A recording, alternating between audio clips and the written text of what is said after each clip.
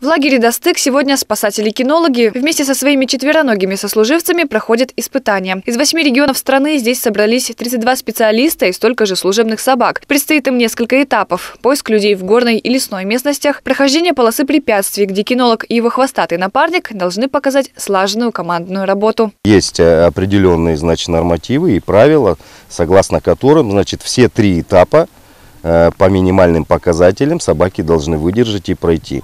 Если они к этим показателям значит, э, будут не готовы, соответственно, они не будут сертифицированы и не допущены к поисково-спасательным работам. Галина и ее четвероногая напарница с необычным прозвищем Камильфо Декор Саша приехали из Павлодара. Они всегда вместе. На службу Сашу взяли щенком. Сейчас ей 6 лет. Собака веселая, подвижная, бандитка, как шутит сама хозяйка. Однако в трудную минуту никогда не подводит. Поступил сигнал, что пропал мальчик, подросток. То есть он с группой подростков ушли они в горы гулять, и подростки вернулись, а мальчик не пришел.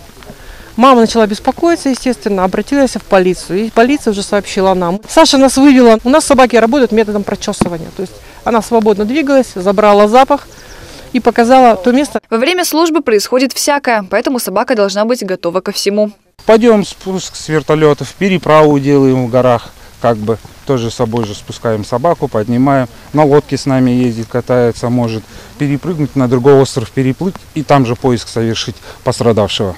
Всего по стране в департаментах по чрезвычайным ситуациям насчитывается 70 служебных собак. Из них 56 успешно прошли экзамен по сдаче нормативов. То есть аттестованные четвероногие спасатели полностью готовы выполнять свои обязанности в любой чрезвычайной ситуации. Диана Салихова, Азамат Баймукан, МТРК.